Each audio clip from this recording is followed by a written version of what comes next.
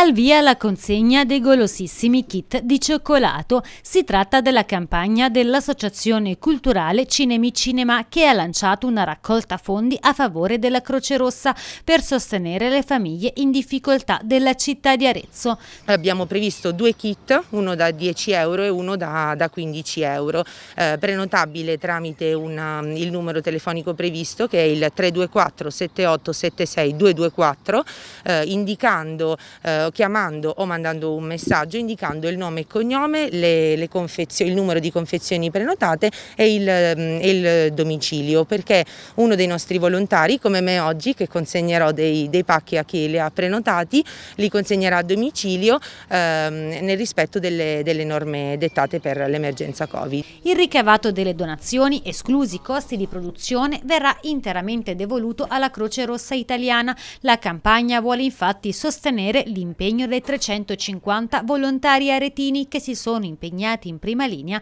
nell'emergenza sanitaria. Perché la Croce Rossa è sempre eh, attiva eh, come dire, a risolvere eh, queste situazioni emergenziali e di, e di disastri.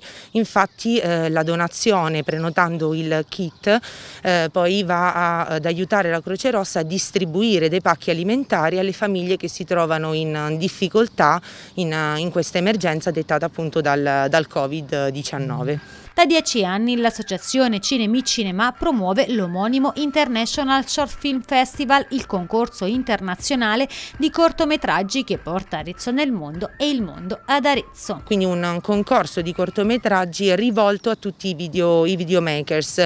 L'obiettivo è quello di eh, unire le nuove generazioni con eh, il linguaggio universale del, del grande schermo, del cinema, del teatro, eh, sia come momento formativo che eh, come eh, momento di incontro di culture, di culture, diverse.